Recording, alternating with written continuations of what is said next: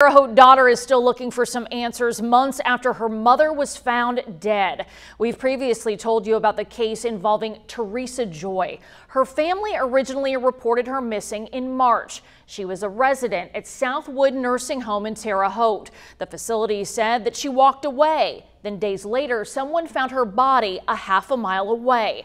Earlier this week, the family received a copy of the autopsy and toxicology results. The coroner's office found no signs of medical issues that would have caused her death. It also found no signs of drugs in her system. Joy's daughter says the report is pointing to more questions. Now that the reports are back, now I can tell them, look, my mom was clean.